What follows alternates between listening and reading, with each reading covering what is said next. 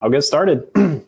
First off, I'd like to say hello. My name's Dusty Mabe. Uh, I work uh, with the Fedora project quite a bit. I'm employed by Red Hat, and I focus mostly on Fedora CoreOS and Fedora Cloud. And I'm going to talk about uh, Fedora CoreOS, what's now and what's next.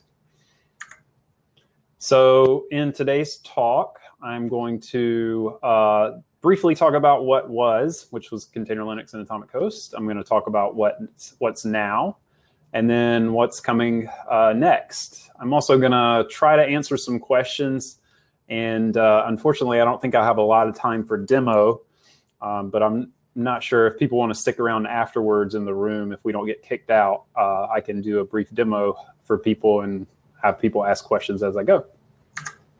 So first of all, what was? Uh, so what was, uh, what used to exist was uh, Container Linux and Atomic Host. They were both container-focused operating systems. Um, container Linux was based on Gentoo, and Atomic Host was based on Fedora slash RHEL, uh, and used RPMs as input. Uh, container Linux uh, had an A-B partition scheme for updates, so um, used an image-based update strategy, and Atomic Host used rpm-ostree as technology. Uh, and then Container Linux used Ignition for provisioning, and Atomic Host had Anaconda slash Cloud Init. Um, so Anaconda for bare metal install type uh, workflow, and then Cloud Init for anything in the cloud that started with an image. So that's what existed. But what's, what do we have now? Uh, so now we have Fedora CoreOS, which is an emerging Fedora edition. Um, and Fedora CoreOS came from putting these two communities together. So CoreOS, uh, the companies, uh, Container Linux, and then also Project Atomic's Atomic Host. Uh, this mostly was facilitated by the purchase of CoreOS, the company by Red Hat, uh, but we've uh, we've been harmonizing ever since. Um, but what does Fedora CoreOS do? What is it comprised of? So Fedora CoreOS incorporates the Container Linux uh, philosophy, the Container Linux provisioning stack, and the Container Linux cloud native expertise.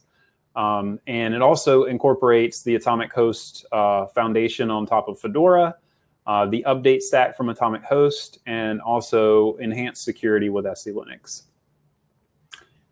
Um, I want to take a brief uh, moment and talk a little bit about the philosophy behind, behind Container Linux because you'll see a lot of it ring true uh, when I switch over here in just a second and talk a little bit more about uh, the high level features of Fedora CoreOS. Uh, first of all, Container Linux uh, had a philosophy of automatic updates by default, which means that uh, there's no, by default, there's no interaction for administrators um, in order to stay up to date which typically means that systems uh, are, you know, have security fixes applied in a more, um, you know, timely manner, and in general, just don't get forgotten about and uh, open to CVEs for a very long time. Um, another philosophy that they had was basically all nodes start from around the same starting point. Uh, so they use Ignition to provision a node wherever it started, whether it be a bare metal node or uh, in the cloud which is interesting. Um, they also take immutable infrastructure to heart. Uh, so in general, if you need a change, let's update our configuration and reprovision. Uh, this is a lot easier in a cloud native environment than say on a, in bare metal. Uh, but that was kind of the path at which they were coming from. And it tends to make a lot of sense in today's world. Um, and then also from the perspective of uh, host updates, have our users run software in containers. Um, that way they depend less on the host and your host updates are less likely to break you and break your application. So now let's talk about Fedora CoreOS features, and you'll see a lot of that container Linux philosophy come through here. The first one being automatic updates. So Fedora CoreOS features automatic updates by default. Um, the in order to deliver automatic updates, they need to be reliable updates, right? We uh, we can't have systems randomly breaking and sysadmins, you know, getting paged and stuff in the middle of the night or whenever the update decides to come through. Uh, usually, in the old model, without automatic updates, um, there would be some sort of plan involved. Oh, I'm going to update X systems uh, and I'll be around in case something goes bad, right? With automatic updates, they need to be reliable. We don't want to break people. Um, so we basically have extensive tests in our automated CI pipelines. Every time a build uh, gets created, every time a PR gets opened, we test things. Um, but you know, there's things that we can't catch with tests. Sometimes that happens. So we also have several update streams to preview what is coming. Uh, so users can run those update streams and preview what's coming, and they know if something's going to break them. Um, the other thing that we have in place to kind of help our updates be more reliable are manage upgrade rollouts. So basically, when we start an upgrade, it won't get go to everybody immediately it will go to everybody over a period of time, call it 24, 48 hours, um, you know, three days, four days. We can, we can control how long we want the update to roll out. And that means that it's a window over time, different people are going to get the update. And if some of the early people that win the lottery um, get the update and it, it breaks them, they can let us know and we can stop the update rollout to, to do some investigation before we let the, the rest of the uh, people in the window update. Um, but you know, sometimes things will go wrong. So when they do, we have rpm-ostree rollback, which can be used to go back. And uh, in the future, we have an automated, we, we want to have automated rollbacks. So a user can specify you know, when we boot my, when we boot our system into a new update, run these three checks, and if they don't pass, then I want you to go back and you know maybe send me an email or something. I'm not sure, but the idea there is that if somehow the application is affected by the update, we can automatically go back and it's not panic mode. Um, so, okay, I want to talk a little bit more about multiple update streams. So uh, we have uh, three update streams that we offer to users. One is next, one is testing, one is stable. Next is kind of experimental features or, uh, you know, like Fedora major rebases. So like when Fedora 33 beta comes out, um, you know, we would try to rebase to that pretty soon and get feedback on things that, you know, need to be looked at there. Testing itself is a preview of what's coming to stable. Um, so that is basically a point in time snapshot of the Fedora stable RPM content. And then after a period of time, we will promote that to the stable uh, stream, which is the most reliable stream offered. The goals here are to publish new releases into the update streams at approximately a two week cadence. And then also to really hope to find issues in next and testing streams before they hit stable. We don't want to break people in stable. Um, this is kind of a complicated slide. In the interest of time, I'm not going to go into too much detail, but uh, down here, essentially, I'll, I'll run through, um, you know, how our update promotion works. So this is essentially the Yum Bodhi, you know, Yum repositories, and it goes, it updates with time. So at a point in time, we'll essentially take a snapshot of what is in the stable repositories, and we will build a testing stream uh, you know, build off of that. Let's call it uh, 31 2020 0323. So March 23rd. Um, and then we'll release it. And after two weeks, there's a two week period in here where hopefully nobody finds issues. But if they do, then we basically will uh, bump testing and and go again. But if nobody finds issues, then after two weeks, we promote that content to stable. So we have a lot of control here, uh, which is very useful. Okay, so the next feature I want to talk about is automated provisioning. So Fedora CoreOS uses Ignition, uh, like Container Linux did, to automate provisioning. Any logic for a machine's lifetime is kind of encoded in the config, in the Ignition config. So it's very easy to automatically reprovision nodes. I actually had something like this hit me earlier this year where I lost uh, connectivity to a box that was sitting in the in, on my desk in the Red Hat office, but uh, because of COVID, we were not allowed to get into the office. So I took the same ignition config that I had used to provision that node and spun up a VM locally uh, on my desktop here at home, and I was back up and running. Um, and also with ignition, uh, we start at the same starting point, whether we're on bare metal or cloud.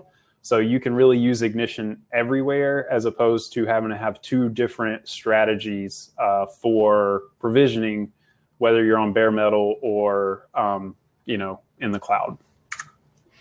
Um, and a little bit more detail about Ignition. It's a declarative JSON uh, file, essentially. It runs exactly, uh, or during the boot process, um, Ignition runs exactly once, and it can write files. It can do systemd units, users, groups, partition disks. It can do some complicated things. Uh, but in general, if you provided an Ignition config that is either invalid or uh, you know, a part of it fails for whatever reason, the boot will not continue, uh, which means you don't get any half provision systems, which can, you know, kind of be confusing if uh, if you get a system that's kind of working, so it doesn't fail health checks for whatever reason, but there's part of it that uh, actually didn't get configured correctly, and you find out much later. Um, and you know, because ignition configs are more machine friendly and not really uh, pretty to look at or to edit. We have a uh, another tool called Fedora CoreOS Config Transpiler, which is used to translate, um, you know, a human-friendly uh, YAML format into Ignition JSON. But it's not just a YAML to JSON converter. There's also quite a few little helpers in there um, that will generate, uh, you know, valid ignition for you with a much smaller syntax. And um, it's it also has some distribution specific stuff. So for example, if uh, we were to take Ignition and run it on um, OpenSUSE, they might have some more distribution specific things that they want to add in their own config transpiler. Uh, Ignition is meant to be kind of distro agnostic. Um, but yeah, so the next feature I want to talk about is cloud native and container focused. So software runs in containers. Um, so we have either the Podman or Moby engine container runtimes. Moby engine is uh, Docker. And uh, it's ready for cluster deployments because we're using Ignition. You can spin up 100 nodes and have them join a cluster. Um, so kind of bursty type cloud uh, ability, and then spin them down when they're no longer needed. Um, and as far as you know, being available across many platforms, right now we have Alibaba, AWS, Azure, DigitalOcean, exoscale GCP, OpenStack, Vultr uh, VMware, and KVM images, QEMU images.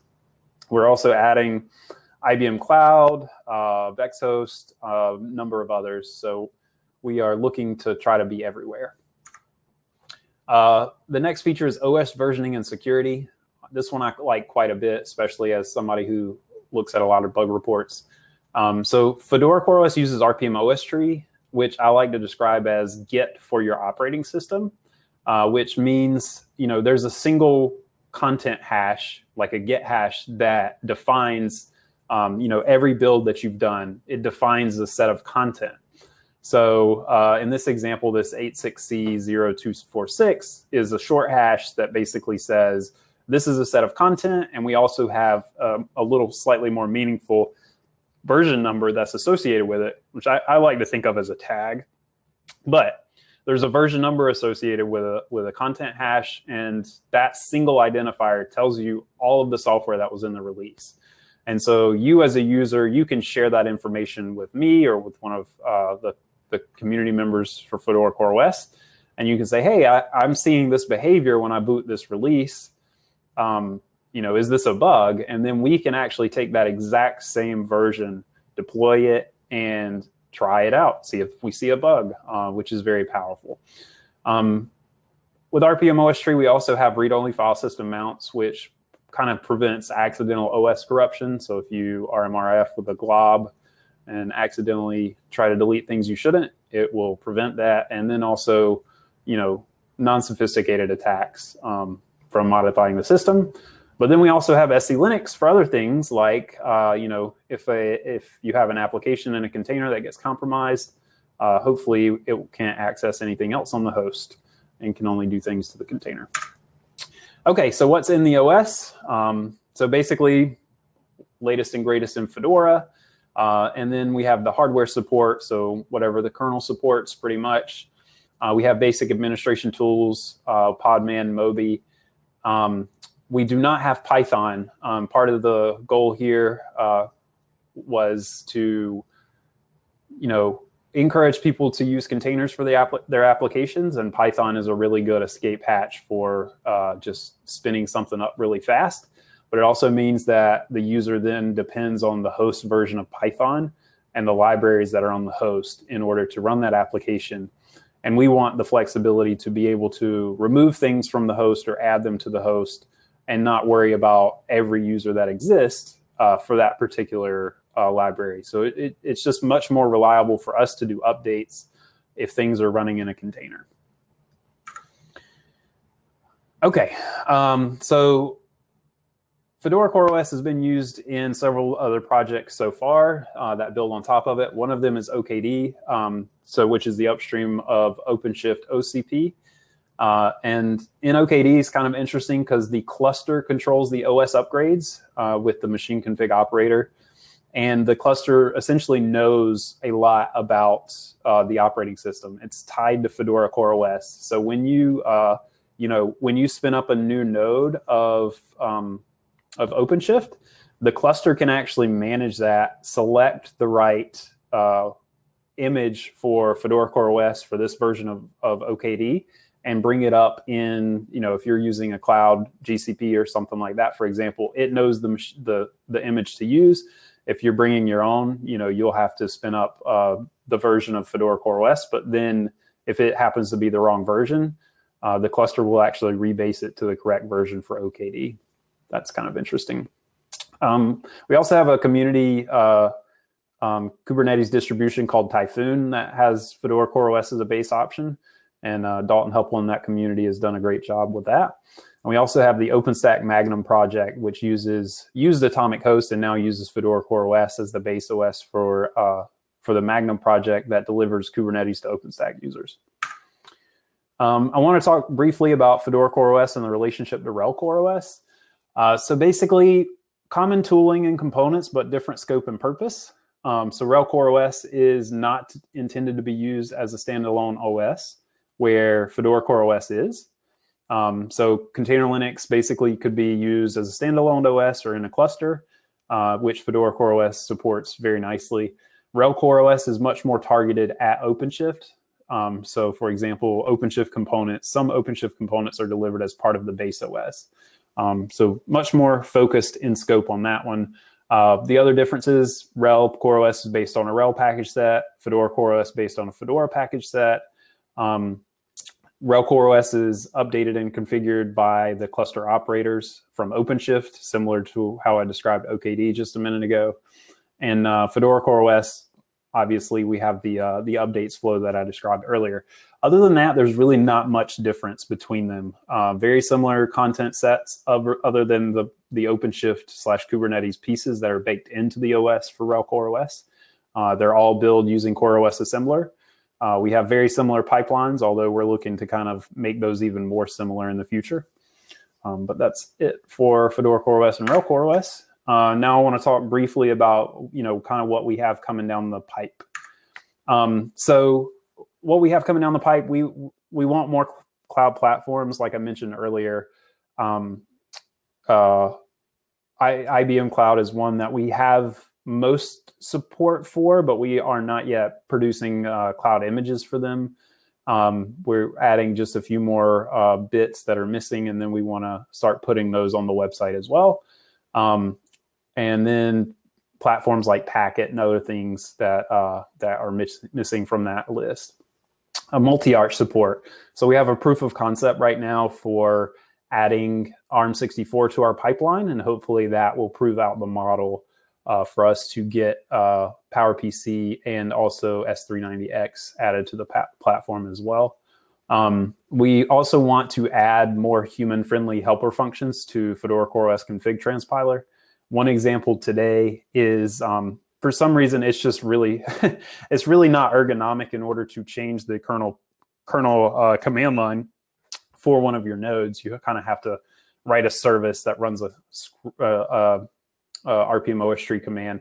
It's just not very human friendly. So what we'd like is to be able to kind of hook into our Fedora CoreOS config and have a user very easily say, hey, I want this kernel argument to be different than what the default is, and have that plumbed through all the way um, to have the running node get that applied when it's done. Um, so little things like that are things that we want, really want to uh, improve the, the user experience for. Uh, another one, user experience host extensions. So I mentioned earlier, we, we kind of want to uh, guide people towards um, not package layering um, and using containers, but package layering is great for things that aren't easy to containerize and or um, you know maybe little tiny host utilities or something like that. The experience there is great when it works, but sometimes it doesn't because of the difference in our package sets between um, you know what's in latest Fedora stable. Uh, so we're working on with RHEL Engine Infra on that to to make that better. And then also more improved documentation. We had a hack fest yesterday that we uh, we um, got a lot of people to join, translations, uh, added documentation, fixing bugs in our documentation, things like that, and tighter integrations with OKD and other upstream projects as well. Um, this is my call to get involved. So use Fedora CoreOS. Um, go grab it from the website. Open issues um, on the issue tracker. We have our forum as well. If you have you know questions and aren't sure um, how to do something, feel free to ask us there. We have a mailing list and we also have our, uh, our IRC channel. Cool. I'll open it up for questions. And, you know, if people want to stick around after questions, I know I'm running out of time. I've got, um, you know, demo content too. So if enough people are around and want to hang out, I'll, I'll do a demo. And I guess I'll just look at the chat in order to see if there are questions.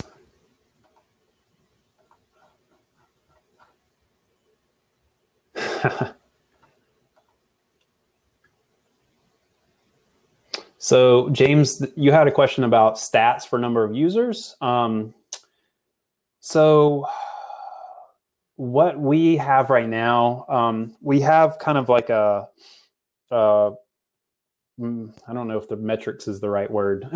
we have a, a, proof of concept of a service that basically will gather some, you know, not specific information about a machine, like, uh, you know, not user specific or anything, like the version that it's currently on, um, and maybe the architecture or something like that. I can't remember. Uh, but we don't have that service deployed yet, um, but we definitely would like to. So one of the goals with that service is to be able to actually get some insight into how many nodes are up to date, how many nodes are old. Um, you know, for example, if we're going through a rollout window, we'll actually be able to see if nodes failed to update. Um, and so rather than waiting for users to give us feedback about, hey, this failed and, you know, in this way, we can start to see in that rollout window if, uh, if, you know, 10% of our systems are failing to upgrade for some reason, we need to pause this rollout and start to figure out what the problem with that update is because you know we don't we don't want that level of uh, failure at all. So we don't have anything right now, uh, but we have plans for that.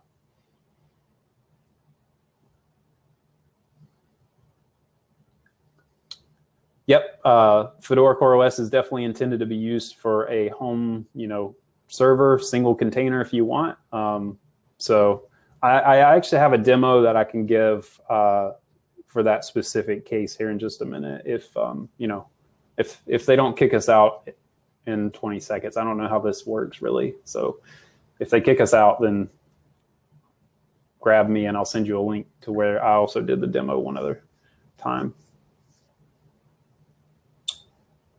Okay, Neil says that we have it as long as we want, so.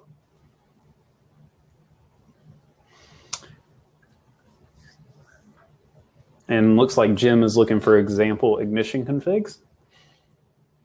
So Jim, we actually are doing a workshop tomorrow. Um, and the the workshop content is actually on our documentation um, page. Uh, so if you can't come to the workshop, uh, then you can still go here to the tutorial section of our documentation and execute it yourself. Um, but it has a lot of examples of ignition configs that you can use. Um, so like here's one this, actually, for the most part, we we define things in uh, you know the Fedora CoreOS config transpiler um, config format, I guess. Um, but typically, you'll start here with a more human-friendly config format, and then you'll run a tool that basically spits out ignition for you. Um, so there's a lot of examples in that documentation.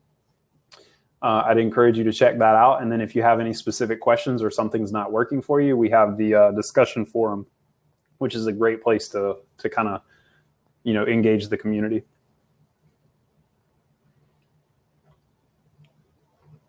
So Will says, Yeah, so the CoreOS updates don't actually go through Mirror Manager. Um, well, take that back. It's slightly more nuanced than that. I think uh, we do have some sort of um, MetaLink URL type thing, but I don't think the mirrors, the Mirror Manager actually may do that. No content is on the mirrors, but our our clients still talk to the mirror server, like the master one. Um, so yeah, you know, we might be able to do something there as well.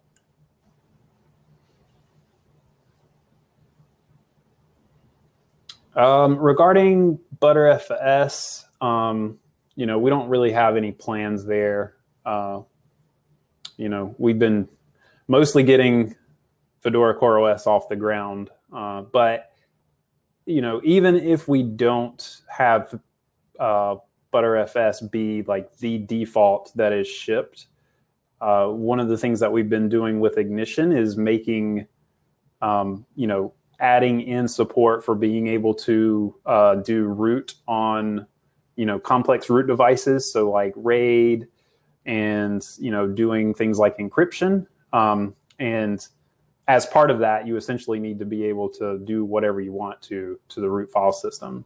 Uh, so you can uh, switch that out and, you know, switch the file system if you want it's not there yet, uh, but yeah, you should be able to run it on Btrfs in the future if you want to. It just might not be the default.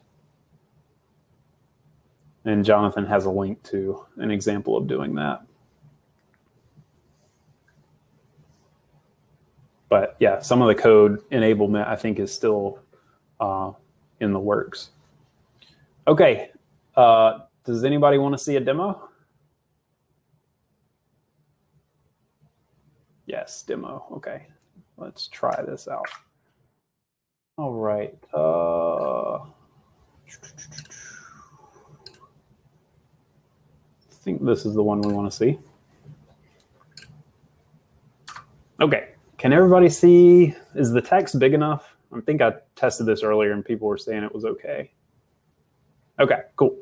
All right, so I mentioned briefly in the presentation that earlier this year, you know, I lost access to a machine. I think the I think the office lost power briefly, and the little box that was sitting on my desk did not have in the BIOS configured to automatically turn back on when it gets power. Uh, so it was powered down, and I had no way to get to it. So it is actually my WeeChat client that I just SSH into and run tmux um, on. So I had previously put everything um, you know, all the configuration for that client in an ignition config and, and a container. And so I was able to spin that up on my desktop in about 10 minutes after I figured out I didn't have access to my uh, other box. So no downtime. Uh, well, short downtime. Anyway, I've recreated an example um, for this to try to go through and show people, you know, one thing that you can do uh, with uh, Fedora CoreOS, which is kind of a focused use case. So what I have here is Dusty Mabe's WeeChat config that runs in tmux via systemd in a container. And that's kind of complicated, but it uh, it's kind of a interesting way to, to do things. But what I have is uh, instructions here for creating an ignition config uh, based on a Fedora CoreOS config, um, and then also instructions for how to test it using uh, a virtual machine. But what we have here is a Fedora CoreOS config, and it basically adds in, um, you know, uh, an authorized key for the core user.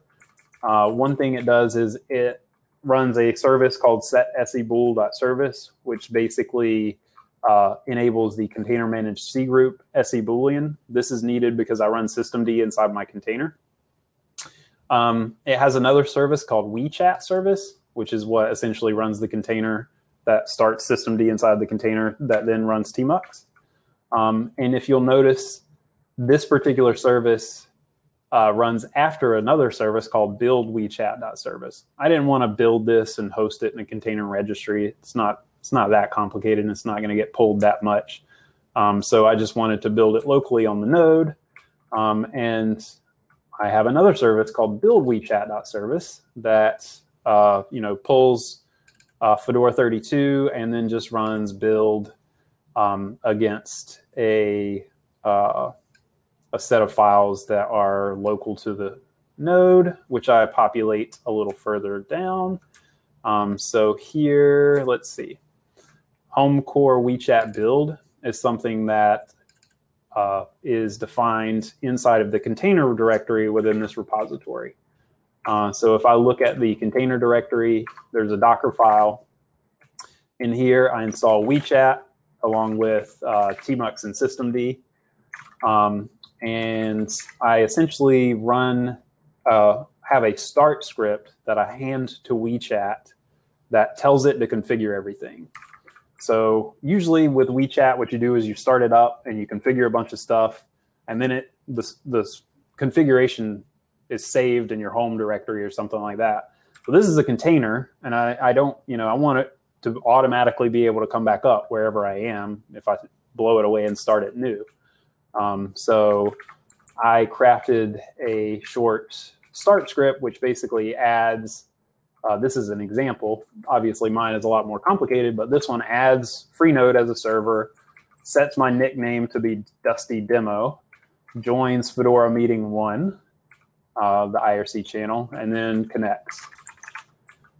Um, and that is pretty much all it does. Let's see. Oh, there's a, uh, sorry, yeah, there's a WeeChat.service that starts inside the container. This is started via systemd.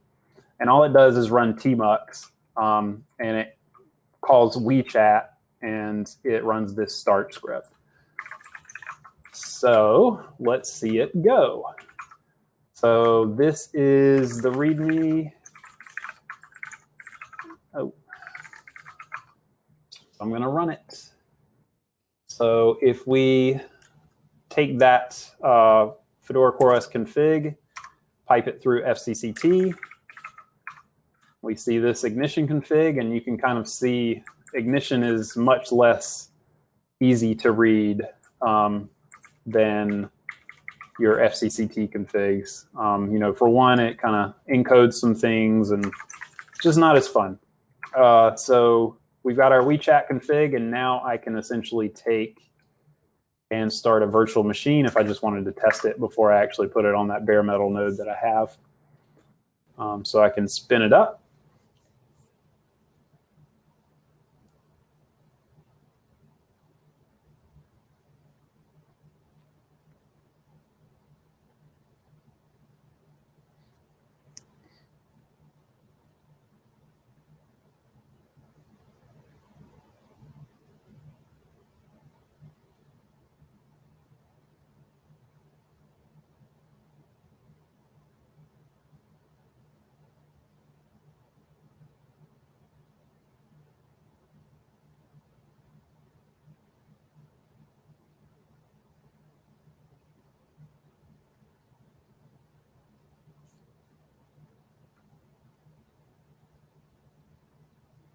For some reason that always takes longer when I'm doing a demo than it does otherwise. But uh, if you'll notice, some things we try to do with Fedora CoreOS are, you know, help the user along with information. Um, so one thing that we do is we output uh, information about, you know, like your IP address. Um, this might be useful in a cloud environment um, where you, you might not know for some reason what the IP is or, you know, whatever that's uh, that can be kind of useful. Uh, the, also the host keys if you want to validate that you're talking to the right um, machine. Um, we also output information about uh, you know was Ignition able to actually get a config and also did it have any SSH keys that were added? If that, you know, if it happened to not have any SSH keys that were added, then you might have trouble getting into the node, right? So that might be another tip on whether the actual um, deployment or provisioning went as you thought it would. So let's go and let's get into this node. Okay, so I'm in the node. One thing you'll notice is we are on uh, Fedora CoreOS. This the, that's the latest stable release uh, right now. And you know, there's information about our issue tracker and our discussion board. Um, let's see. Right now, the build WeeChat service is uh, still running, so that container build is still kind of going. If we want to look at that, um, I think we should be able to see uh, stuff that's kind of coming to the screen as a result of that container build.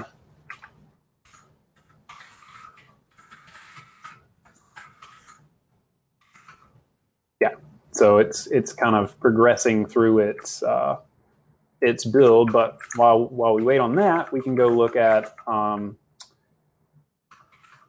kind of uh, some other files that were laid down on the system. So this file in user local bin WeeChat is one that I wrote in here that basically says I can log into this system, and if I just run WeeChat, I'll be able to get into the environment that I expect, which is to get into the WeeChat container and just tmux attached to the ex existing session that's already running.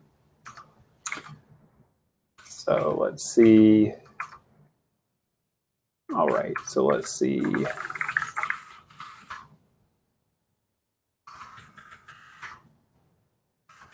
Get into it now.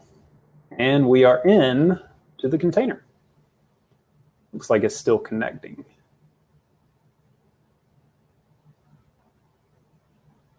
Yep. So now I can say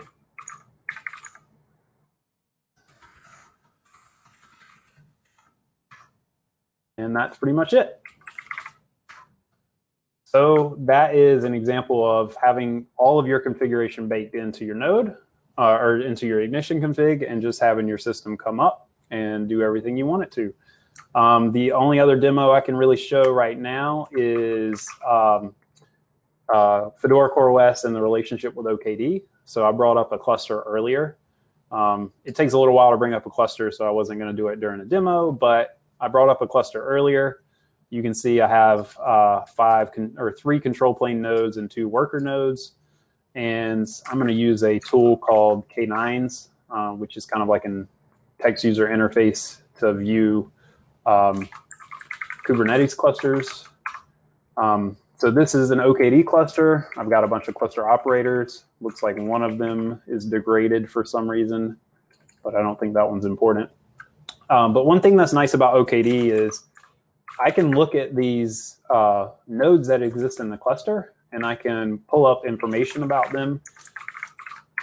And this uh, particular, this, you know, OKD itself knows about the OS image that's in the cluster. So it knows it's running Fedora CoreOS, right? And um, it also knows how to bring up new nodes in the cluster. So if I go look at the machine sets for for this machine, I only brought up this cluster with two worker nodes. And I can do something like, oh, just spin up a new worker node for me in this, uh, you know, D zone. And so what I'll do is I'll go in and edit that, and I'll search for replicas. Um, and I will spin up a new one.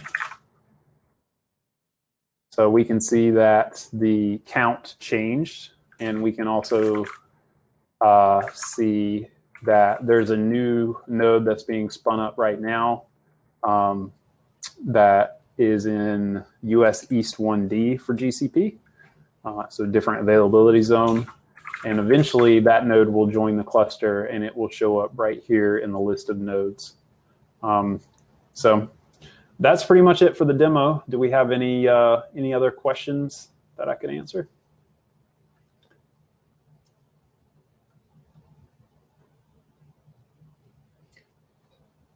So we have a question uh, for um, Ignition. Does it mean that every configuration change means reboot of the server? I think it depends. Like obviously, you can kind of evaluate how valuable um, how valuable the reboot would be. For example, you know, if you if you make a change to your application, then I don't, you know, not unless your configuration for your application is delivered via Ignition and not updated any other way. For example, you know, um, in some cases you might do uh, reach out to source control and grab a new version of your application or, or a new config setting or something like that. Um, you know, obviously you probably don't need to rerun Ignition for that. If you're changing networking or something like that, um, you know, you could want to rerun Ignition just because, you know, what if you applied it to the node using Network Manager in MCLI or something like that, but then later, and then also at the same time tried to apply that uh, configuration via Ignition, but you didn't test it.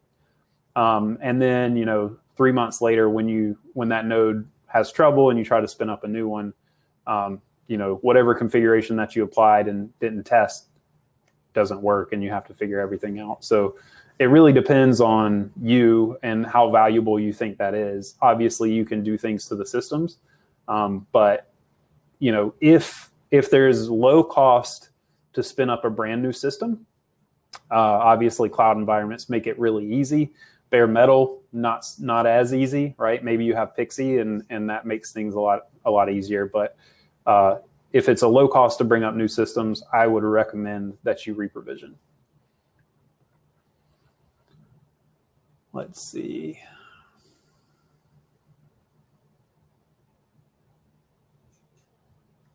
Okay uh, how do i deal with auto update of containers running in this in this demo like the WeeChat one that I did. Um, I'm going to assume that. So for the WeeChat one, the the demo that I did was a little simplified, but in the one that I actually have running, um, I have it periodically, uh, basically try to pull a new Fedora 32 container and then also build from a Git repository.